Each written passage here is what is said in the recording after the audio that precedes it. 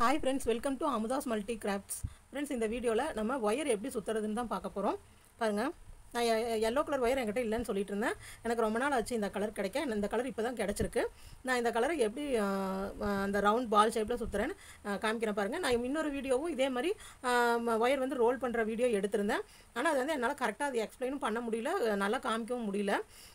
அது first time போட்டங்காட்டிக்கு அது எனக்கு இன்னொருத்தரோட ஹெல்ப்போட தான் அது பண்ணினேன். அதனால் எனக்கு சரியாக வரல.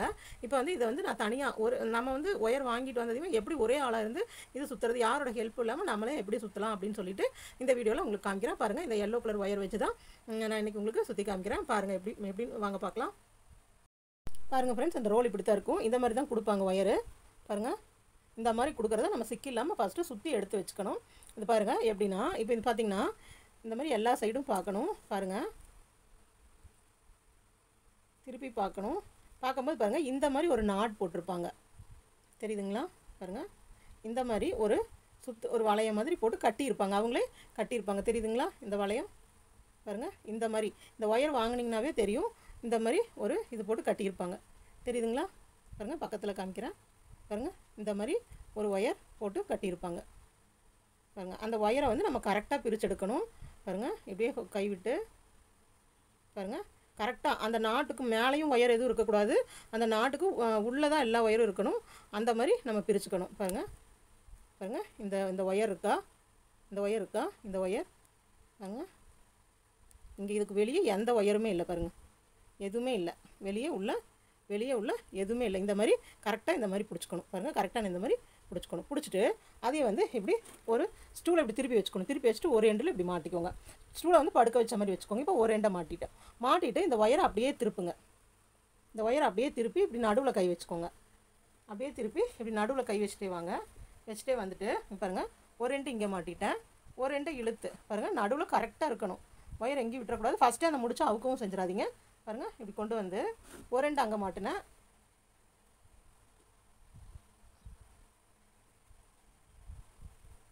நல்லா உள்ள தள்ளி மாட்டிட்டு பாருங்கள் ஒரு எண்டை இந்த சைடு மாட்டணும். இந்த சைடு ஒரு எண்டை மாட்டிட்டேன்.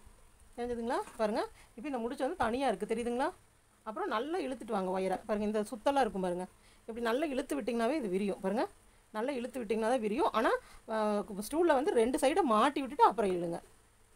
இது நான் ஒரே ஆளாக தான் வீடியோ எடுத்துகிட்ருக்கேன் அதனால் கொஞ்சம் முன்ன பின்ன மறைஞ்சிருக்கலாம். நீங்கள் பார்த்துக்கோங்க பாருங்கள் எடுத்து கொண்டு வந்து இந்த கொஞ்சம் ஸ்டூலை கொஞ்சம் எம்பி இந்த மாதிரி விட்டுக்கோங்க.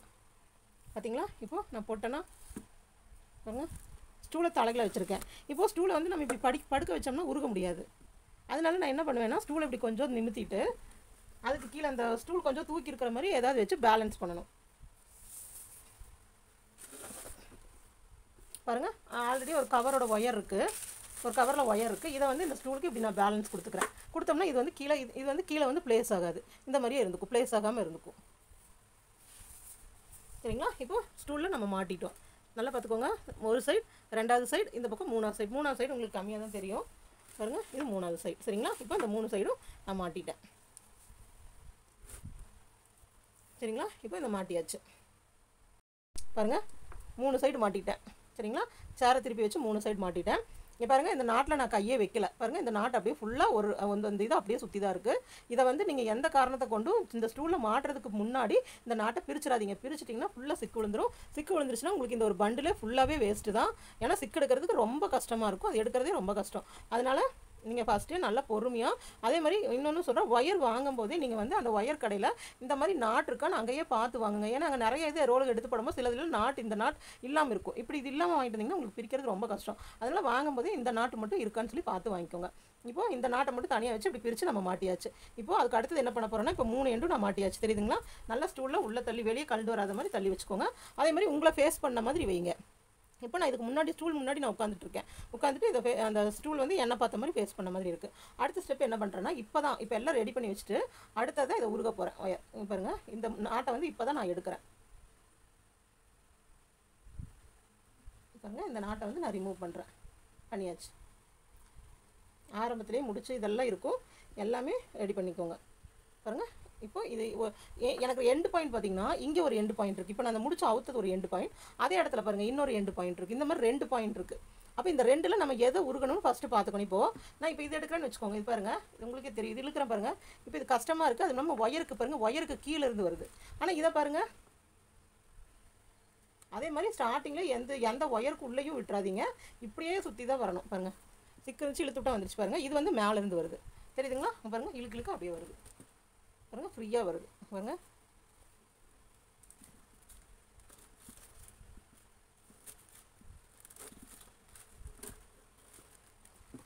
ஒரு ரெண்டு மூணு ஒரு ஒரு ரெண்டு மூணு சுற்று வரும்போது உங்களுக்கு கொஞ்சம் கஷ்டமாக இருக்கும். அப்புறம் உங்களுக்கு எல்லாம் ஈஸியாக வர ஆரம்பிச்சிடும் பாருங்கள் இப்படி ஒரு ரெண்டு மூணு சுற்றி பார்த்துக்கோங்க. ஆனால் எனக்கு இப்போ இதுதான் மேலேருந்து வருது. பாருங்கள் பின்னாடி நான் அப்படியே சிக்கிருந்துச்சுன்னு சொன்னாலையும் அதுதான் மேலேருந்து வருது. உள்ளேருந்து கீழேருந்து வருது. பாருங்கள் இப்படி சுத்த சுத்த இப்படியே தெரியும். மேலேருந்து வருது. அப்போது நம்ம ஃபஸ்ட் எடுத்த ஒயர் இருக்கு இல்லைங்களா? இந்த ஒயரை நீங்கள் ஒன்றும் பண்ண வேண்டாம். இந்த ஒயரை முடிச்சு போடுறது அதில் எதுவும் பண்ண வேண்டாம். நீங்கள் பாட்டுக்கு அதை உள்ளே எடுத்து விட்டுருங்க. சரிங்களா? விட்டுட்டு இந்த ஒயரை அப்படியே எடுத்து விடுங்க. பாருங்கள் ஃப்ரீயாக வருது. தெரியுதுங்களா? பாருங்க. ம், இது எடுத்தாச்சு. அப்படியே வரேன். இந்த சைடு மட்டும் உங்களுக்கு எடுக்கிற தெரியல. பாருங்கள் இங்கே வரேன். வந்து இப்படி இழுக்கிறேன். ஒயர் அவ்வளோதான் இழுத்து அப்படியே சு- இழு இழுத்து விட்டுட்டே இருக்கேன். இழுத்து விடுறதும் நிறைய ஒயர் இழுக்கக்கூடாது. இப்போ நான் கொஞ்சமாக இழுத்துட்டேன். கொஞ்சமாக இழுத்துட்டேன். பாருங்கள் இவ்வளோ நான் இழுத்து போட்டுட்டேன். போட்டுட்டு இதோட எண்ட் இருக்கு இல்லைங்களா? இந்த எண்ட் இருக்கு. இந்த எண்டை எடுத்து சுற்ற ஆரம்பிச்சிடணும்.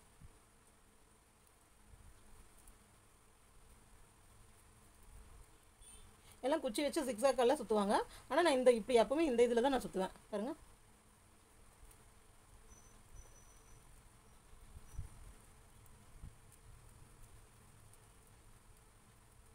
கொஞ்சம் கொஞ்சமாக அப்படியே சுற்றி நம்மளே ஒரு பால் ஷேப்பு கொண்டு வந்துடணும். பாருங்கள் கொஞ்சம் கொஞ்சமாக சுற்றி ஒரு பால் ஷேப்பு கொண்டு வந்து. பாருங்கள் கொஞ்சம் கொஞ்சமாக சுற்றி ஒரு பால் ஷேப்பு கொண்டு வந்துட்டேன். இந்த மாதிரி கொண்டு வந்துட்டேன். சரிங்களா? இப்போ அதை அப்படியே கீழே வச்சுருங்க. வச்சுட்டு திருப்பியும் ஒயர் எடுத்து விடுங்க.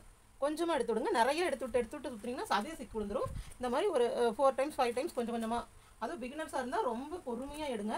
எடுத்து அப்படியே கொஞ்சம் கொஞ்சமாக ஒரு நாலு நாலு நாலு தடவை மட்டும் இந்த ஒயர் இப்படி சுற்றி எடுங்க. பாருங்கள் நீங்கள் பாட்டுக்கு அப்படியே சுற்றுனீங்கன்னா வந்துகிட்டே இருக்கும் பாருங்கள் எங்கேயும் சிக்கில்லாமல் வந்துட்டுருக்கும் ஆனால் அவசரப்பட்டு கட கட கடன் இழுக்கவெல்லாம் வேண்டாம். ஒயர் பொறுமையாக தான் எடுக்கணும். சிக்கு விழுந்துருச்சுன்னா ரொம்ப கஷ்டம். பொறுமையாக எடுங்க. ஏன்னா ஃபஸ்ட்டு ஸ்டெப்பே இதுதான் ஒயர் சுற்றுறதுல பாருங்க நம்மளுக்கு ரோலெல்லாம் கிடைக்காது. இந்த மாதிரி தான் கிடைக்கும். நம்ம வாங்கி சுற்றிக்கணும் பாருங்க இந்த மாதிரி அந்த பால் மேலே சுற்றிட்டே இருப்பேன். நான் கொஞ்சமாக அந்த இழுத்ததெல்லாம் ஒரு ஓரமாக உருகி வச்சுட்டு நான் ஒரு ஃபோர் ஆர் ஃபைவ் டைம்ஸ் தான் சுற்றி விடுவேன். ஏன்னா நிறைய இழுத்து போட்டோம்னா அது நம்மளுக்கு சிக்கு விழுந்துடும்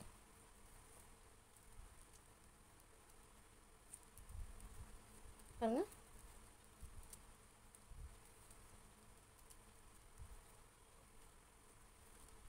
பாருங்க அப்படி சுத்த சுத்தவே இந்த மாதிரி எல்லாம் முடிச்சு வந்து நின்றும் நிறைய தடவை விட்டோம்னா.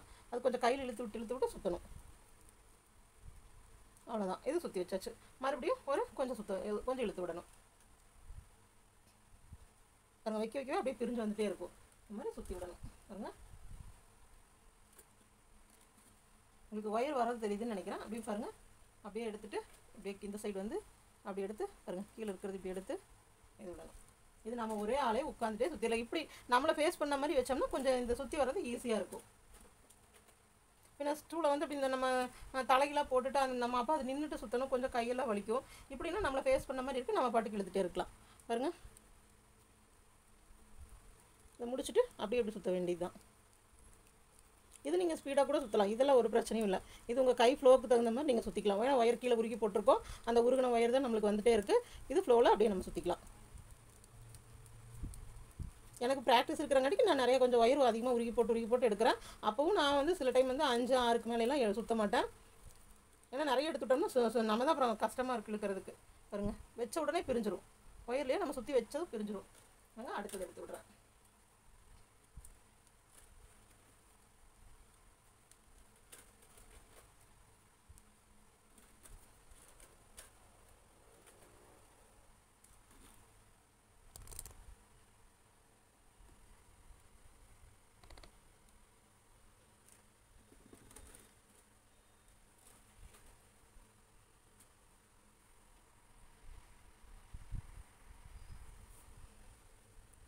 பாருங்க. நான் சுற்றிட்டேன் அப்புறம் இந்த இதில் விடுறேன்.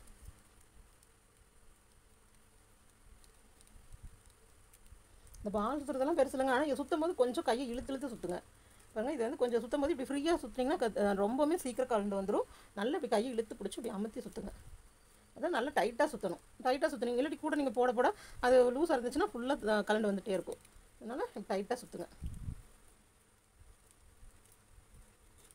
அவ்வளோதாங்க பாருங்கள் எவ்வளோ பெரிய பால் வந்துருச்சுன்னு. இந்த சைடு மட்டும் கொஞ்சம் மேடாக இருக்கிற மாதிரி ஏதாவது வச்சுக்கோங்க. வச்சுட்டு ஒன்றும் இல்லை ஒயர் இப்படி எடுக்கிறோம். ஒயர் அந்த மாட்டுறது மட்டும்தாங்க இது ரிஸ்க்கு நான் மாட்டிட்டிங்கன்னா நான் சொன்ன மாதிரி அதை முடிச்ச பார்த்து மாட்டி விட்டிங்கன்னா இப்படி ஈஸியாக இழுத்துட்டு போயிடலாம். பாருங்க இப்படி கொஞ்சம் அப்படி இழுத்து போட்டு அப்படியே சுற்ற வேண்டியது தான் எவ்வளோ ஈஸியாக வருதுன்னு பாருங்கள் இவ்வளோதாங்க இழுத்து இழுத்து அப்படியே சுற்ற வேண்டியது தான் சரிங்க இந்த கடைசி இது வரும்போது நான் உங்களுக்கு ஃபினிஷிங் எப்படின்னு காமிக்கிறேன். பாருங்கள் நான் எவ்வளோ உருகிட்டேன்னு பாருங்கள் இப்போ பேலன்ஸ் இவ்வளோ தான் இருக்குது பாருங்கள்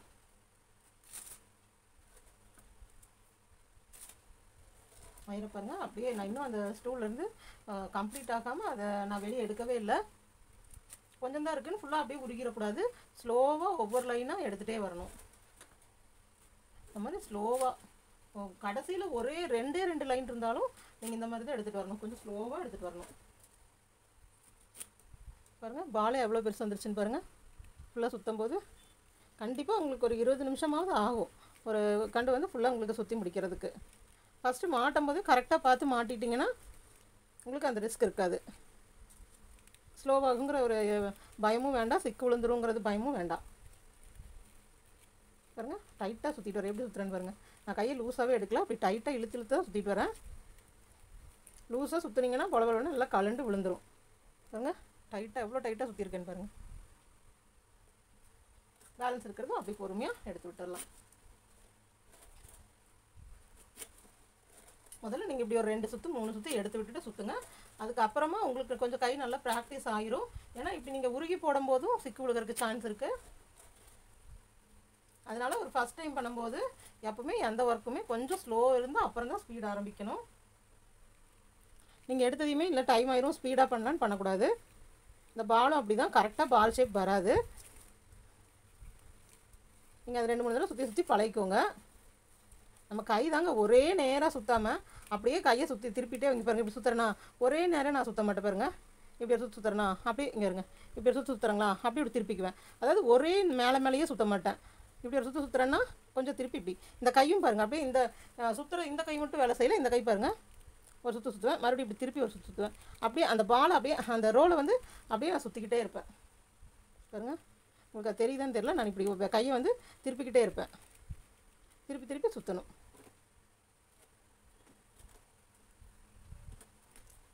நீங்கள் ஒரே பொசிஷனில் சுற்றினாலும் அந்த ரவுண்ட் ஷேப் வராது. பாருங்கள் ஃபுல்லாக எல்லாமே எடுத்தாச்சு. இதில் ஒரு நாலு தான் இருக்குது நான் உருகி போட்டதெல்லாம் சுற்றிட்டு சுற்றிட்டு தான். பாருங்கள் நல்லா பாருங்கள் இப்படி ஒரு சுற்று சுற்றுறோம் அப்படியே கையை அப்படியே இந்த கை வந்து அப்படியே சுற்றிட்டே இருக்கணும். ஒரே நேரில் சுற்றாமல் இந்த சுற்றுறதை வந்து திருப்பி திருப்பி பக்கத்தில் கொஞ்சம் தள்ளி தள்ளி சுற்றிட்டே இருக்கணும். தெரியுதுங்களா எப்படி சுற்றுறேன்னு அப்போ உங்களுக்கு வந்து அந்த ஒரு பால் ஷேப் கிடச்சிரும். இந்த மெயின் அந்த பால் ஷேப் நான் ஏன் சிக்ஸாக்காக சுற்றாமல் இந்த பால் ஷேப்பில் சுற்றுறேன்னா இது வந்து உங்களுக்கு அந்த ரெண்டு கலர்லாம் பண்ணுறோம் இல்லையா? அந்த ரெண்டு கலர் வந்து அட்டாச் பண்ணி போடும்போது இது ரொம்ப சுற்ற வேண்டிய வேலை இருக்காது. அந்த சிக்ஸாக் போட்டோம்னா ரொம்ப தடவை சுற்றிக்கிட்டே இருக்கணும். இது வந்து அவ்வளோ நேரம் சுற்ற வேண்டிய வேலை இருக்காது. எனக்கு ஆரம்பத்துலேருந்தே நான் இப்படியே சுற்றி வச்சு வச்சு போட்டு எனக்கு அதே பழக்காயிருச்சு. பாருங்க. பாருங்க இப்போ இந்த சேரில் பாருங்கள் ஒரு நாலு ஒயர் தான் இருக்குது இப்படியே நீங்கள் இதை ரிமூவ் பண்ணி இப்படியே கை வச்சு இப்படி ரிமூவ் பண்ணி எடுத்துடக்கூடாது. அப்போவும் கரெக்டாக ஒவ்வொரு ஒயராக இப்படி சுற்றிட்டு தான் வரணும். பாருங்க. சுற்றி இப்படி எல்லா ஒயரையும் நம்ம எடுத்துடணும். எடுத்து இந்த எண்டு பாருங்கள் இந்த எண்டு இங்கே இருக்குது பாருங்கள்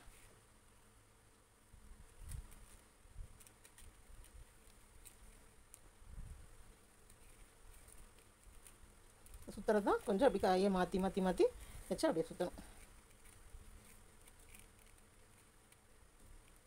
அது நழுவி நழுவி உங்களுக்கு வந்துட்டே இருக்கும். ஒயர் வெளியவும் கலண்டு கலண்டு வரும். அது எல்லாம் டைட்டாக பிடிச்சி அந்த மாதிரி சுற்றணும்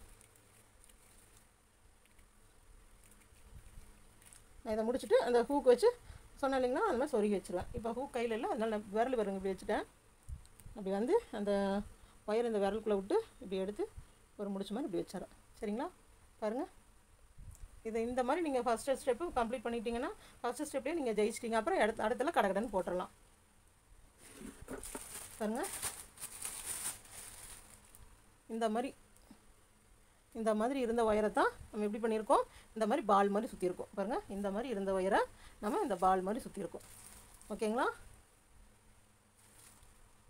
பாருங்கள் நான் இந்த ஒயர் வாங்கும்போதும் நான் இதை செக் பண்ணி தான் வாங்குவேன். நம்ம எடுத்து அப்படியே நான் வாங்க மாட்டேன். இதை செக் பண்ணி இந்த நாட்டு இருக்கான்னு பாருங்கள் இதுலேயும் அந்த நாட்டு இருக்குது பாருங்கள் தெரியுதுங்களா இந்த நாட்டு? இந்த நாட்டு இருக்கான்னு செக் பண்ணி தான் வாங்கணும். பாருங்கள் இப்படி வாங்கிட்டு வந்தேன் இது ரோல் ஆக்கியாச்சு. இந்த கலர் வந்து ப்ளூ வந்து இது கூட மிக்ஸ் பண்ணி போட்டால் நல்லாயிருக்குன்னு சொல்லிட்டு ப்ளூ வாங்கியிருக்கேன். ப்ளூ எல்லோ மிக்ஸ் பண்ணால் நல்லா இருக்கும்னு தோணுச்சு அதனால் அது வாங்கியிருக்கேன். எனக்கு இந்த மூணும் சேர்ந்து ஒரு கிலோ வந்துச்சுங்க. இந்த எல்லோ கலர் ரெண்டும் இந்த ப்ளூ இது வந்து கரெக்டாக இவ்வளோ ரோல் எடுத்தால் தான் ஒரு கிலோ வரும்னு சொல்ல முடியாது. ஏன்னா ஒரு ரோல் வந்து நல்ல இப்போ ப்ளூ கலர் பாருங்கள் டிஃப்ரென்ஸ் பார்த்திங்கனாவே தெரியும். ப்ளூ கலர் பாருங்கள் எவ்வளோ டைட் நிறைய சுற்றிருக்காங்கன்னு ப்ளூ கலர் எவ்வளோ மந்தமாக இருக்குன்னு பார்த்தீங்களா அது எல்லோ கலர் பாருங்கள் ரெண்டுக்கு டிஃப்ரென்ஸ் தெரியுதா? எல்லோ கலர் எவ்வளோ சனமாக இருக்குது ப்ளூ கலர் எவ்வளோ மந்தமாக இருக்குன்னு பாருங்கள் அதனால் நம்ம ரெண்டு ரோல் எடுத்தால் தான் ஒரு கிலோ வருமா அப்படியெல்லாம் சொல்ல முடியாது. மூணு ரோல் எடுத்தால் ஒரு கிலோ வருமா? அந்த ஒயரை பொறுத்த வரைக்கும் அந்த மாதிரி கான்செப்டே கிடையாது. ஏன்னா ஒரு ரோல் இந்த மாதிரி குண்டாக இருக்கிற இப்போ ப்ளூ கலரே நான் இன்னொன்று எடுத்திருந்தேன்னா எனக்கு ஒரு கிலோ வந்திருக்கும். பாருங்க இந்த மாதிரி. ஏன்னா இப்போ உங்களுக்கு சுற்றுறது ஈஸியாக புரிஞ்சிருக்கும்னு நினைக்கிறேன். ஏதாவது டவுட்ஸ் இருந்தால் எனக்கு மெசேஜ் பண்ணுங்கள் கமெண்ட் பண்ணுங்கள் இந்த வீடியோ உங்களுக்கு பிடிச்சிருக்குன்னு நினைக்கிறேன். பிடிச்சிருந்தா ஒரு லைக் கொடுங்க. தேங்க்ஸ் ஃபார் வாட்சிங்